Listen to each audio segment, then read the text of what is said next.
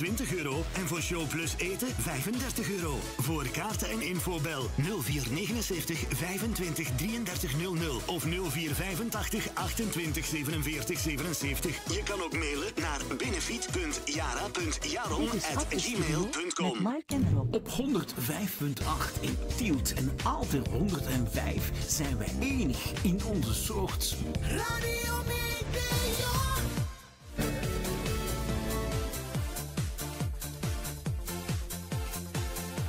Zo, allemaal al die knopjes en die dingetjes. Je zou niet weten wat je eerst moet gaan bedienen op de duur. En we komen uit verlof, we moeten eigenlijk nog een beetje wennen aan Ja, alles. ja, Na, ja, ja. na bijna twee maanden eh, het niet meer gedaan te hebben, hè, moeten we weer een beetje gaan wennen. Oké Mike, aan de lopende band zeggen we, het is niet aan de lopende band, het is eh, allemaal met grote passie, met Ja, veel overtuiging en Ja. dat we het allemaal doen. Maar we hebben uiteindelijk maar twee uur de tijd van de mensen aan het woord te laten.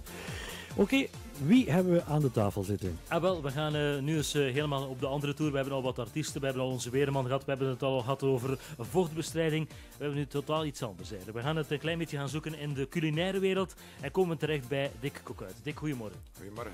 Ik zei culinaire wereld en eigenlijk is het dat wel, hè? Eh, ja, min of meer wel. Min of meer Ja, wel, hè? Ja, Want we hebben het, eh, of we willen het hebben tenminste, over Agua de Bolivia. juist. En wat is Agua de Bolivia dan?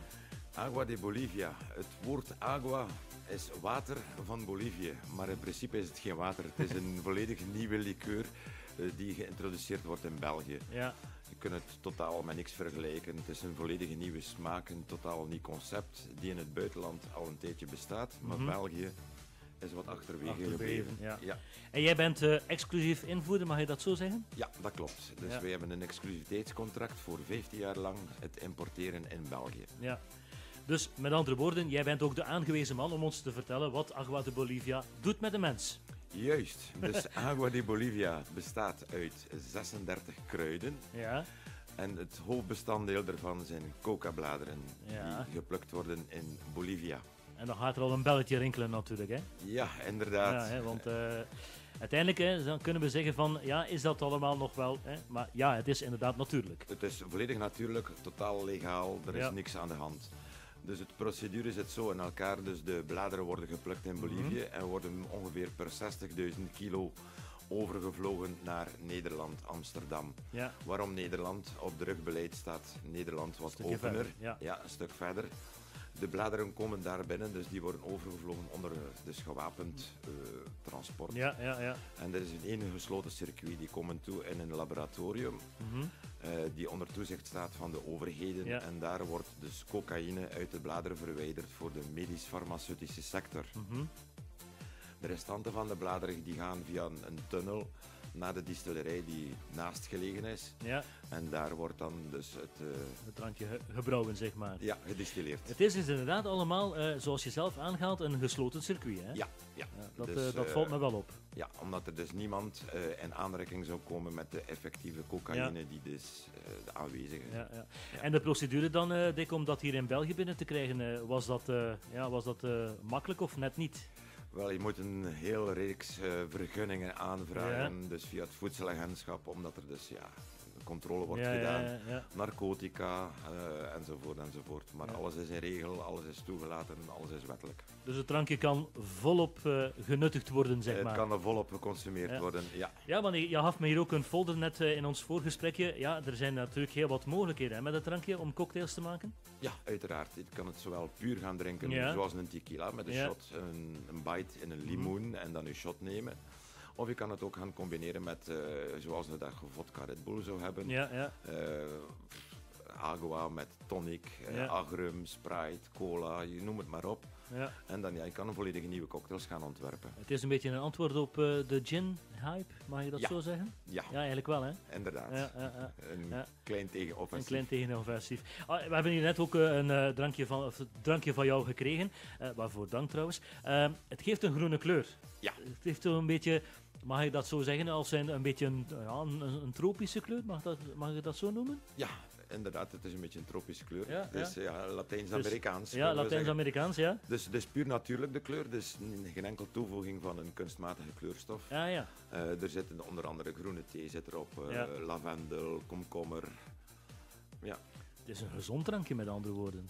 Uiteraard. Uiteindelijk wel, hè? Ja, Ja, hè? het, we noemen het alcoholgehalte, maar de Ja, de ja. standdelen zijn allemaal De gezond. afstand zijn allemaal gezond. Zeg Dick, wat van, eh, van waar jouw passie om eh, met eh, dit bezig te zijn?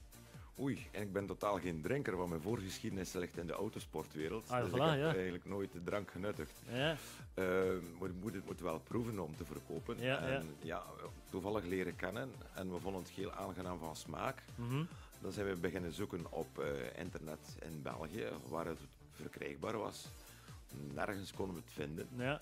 En zo is dan de, de passie ontstaan om het toch te gaan importeren in België en verder te gaan evo- evolueren. Evolueren, ja. En hoe zijn de reacties tot nu toe? Heel positief. Ja. Ja. eh, de mensen die het proberen, in het begin zeiden ze wel, oh ja, het is drugs. Nee, Nee, het is nee, geen, geen totaal drugs. geen drugs. Nee. Tot op het moment het gaan nuttigen, zeggen ze inderdaad, de smaak is met niks te vergelijken. Het is Hm. zacht, het is, ja, het valt reus in de smaak. En wat is jouw taak dan, eh Dick, op café gaan om het drankje te verkopen? Allee ja, klinkt Nee. gek, maar Nee, wij hebben dus nu een foodtruck opgestart om het Ja. eh, te, te promoten. promoten, Ja, dat de ja. mensen het leren kennen. En het is de bedoeling, dus wij hebben nu met een paar freelance mensen die op de baan gaan, die het promoten naar dus drankhandelaars, horeca. En dan naar de evenementensector toe. Ja, Ja. Dus, dus Jullie, jullie staan niet in tilt dit, eh, dit weekend hier, nee. Nee, het is Nee. niet altijd evident Ja. om ergens te gaan staan. Veel eh, handelaars, zoals een Bacardi, koopt zich eerst in. ja, Ja, ja. klopt, ja. En daar kunnen we niet op tegen inbotsen. Dus als wij 1% van het marktaandeel in België kunnen verkrijgen, zouden we al heel gelukkig zijn. Ja, maar tegenwoordig heb je wel veel van die foodtruck-festivals die Ja. kleinschalig zijn. Hè. Dit weekend hier in Tielt is het ook eigenlijk... Er staan ja, een aantal foodtrucks, maar het is kleinschalig niet in die zin. Zoals u nu aanhaalt, Bacardi koopt zich in. Hè, wij hebben Korte Mark Zomert gehad, Ja. het foodtruckfestival, voor de eerste keer dit jaar. Wij waren er ook aanwezig met onze live eh, mobiele studio, waar we uitzonden. Er zijn her en daar nog kleinschalige allee, projectjes zo, waar er 20, 30, 40 maximum 50 foodtrucks staan, waar iedereen een kleine bijdrage betaalt en waar er niet van die grote eh, zaken aanwezig zijn. Wat je wel ziet, meer en meer, bijvoorbeeld is dat een Pepsi-Cola meer begint opgekomen ten opzichte van Coca-Cola, dat zij wel afspraken maken met organisatoren dat zij gewoon Pepsi verkopen. Maar Bacardi hebben we nog niet zo veel gezien. Iedereen Ja. kan ons inderdaad contacteren. Ja, eh, ja. en wij zijn ook een beetje op zoek naar locaties waar we kunnen staan. Waar Zoals kunnen dit staan, jaar ja. stonden wij nu op Labyrinth. Ja, En ook het Country Western Festival in Middelkerken. Constant proberen wij wel, ook wel te, uit te zoeken waar wij zo kunnen en mogen staan. ja. Dus met andere woorden, als eh, organisatoren jou nu gehoord hebben en zeggen van God, ja, dat is misschien wel een drankje om bij ons te hebben. Waar kunnen ze terecht Dick, om eh, informatie te Ze vinden? kunnen ze ons altijd telefonisch contacteren. Ja, eh, of ook via de website aguadiek.hotmail.com. Ja. is geen enkel probleem. We staan altijd open voor vragen en kunnen ze ook een deeltje meepikken in de, in de ja, opbrengst. in de opbrengst, ja. En verkopen jullie dan eigenlijk eh, de flesjes op zo'n foodtruckfestival of degusteren jullie gewoon zoals iemand cocktails gaat gaan verkopen? eh, bieden jullie bekertjes aan of glaasjes aan met, eh, met het, het drankje? Of, of, Ja, of, ze kunnen het dus op alle manieren verkrijgen bij ons. Op long drinks, daar Ja. werken wij samen met een nieuwe, een lekkere limonade, dus de Ja. Franklin. Dus Ja, een totaal ja. nieuwe combinaties. Ja, En ook de cocktails die een volledig nieuwe combinaties zijn. ja. Kunnen ze dat allemaal nuttigen, ja. Zeg Dick, je vertelde dat je uit de autosport kwam. Ben jij dan iemand die ook eh, dit weekend naar Roeselare trekt voor de Omloop van Vlaanderen? Of was het dat eh, niet eh, meteen jouw ding? Eh, dat is niet meer meteen mijn ding. Dat Ja. was, voor mij was het meer een circuitsport. Ah, ja. Ik heb 20 jaar professioneel karting gedaan en dan nog een jaar Formule 3000 en twee jaar historical F1. En wanneer ben je daarmee gestopt? Want hier, Ja. hier rechtover zit eh, ook een, een karter die eh, meedraait in een circuit. Niet als professional, maar die draait wel mee tussen de professionals. Ik ben vorige week nog naar Frankrijk geweest, noorden van Frankrijk, naar het circuit, om te gaan supporteren. Dus, eh, want die, En als recours. ja, die gaat altijd, altijd daar rijden. Dus ik ben zelf naar daar geweest. ze, want-. Binnenkort komt die man ook langs hier, gaan we daarover praten. En eh, hij heeft, vorige week was zijn chassis een beetje geplooid.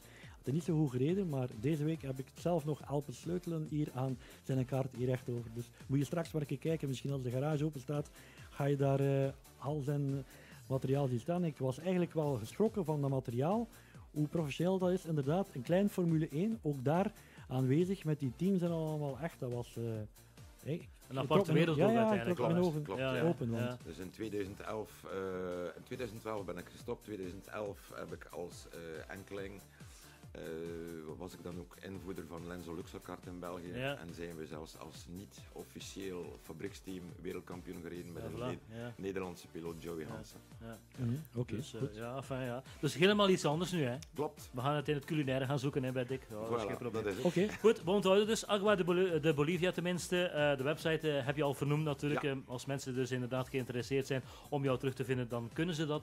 Absoluut. En ik zou zeggen, Dick, van harte dank om eventjes eh, langs te komen hier in onze studio. Hou ons vooral op de hoogte, mochten er nog zo van die drankjes uitkomen. Je kan maar nooit weten natuurlijk. En eh, wij gaan hem ook eens proeven, als we mogen tenminste. Eh, maar dat is voor na de uitzending natuurlijk, Ja. want anders wordt het helemaal gek. Eh, dat is niet de bedoeling. Eh, en ik zou zeggen, Dick, eh, ja, nog een fijn weekend. Bedankt. Ja, jullie bedankt voor de uitnodiging. Graag gedaan. Alsjeblieft. gedaan. dank u wel.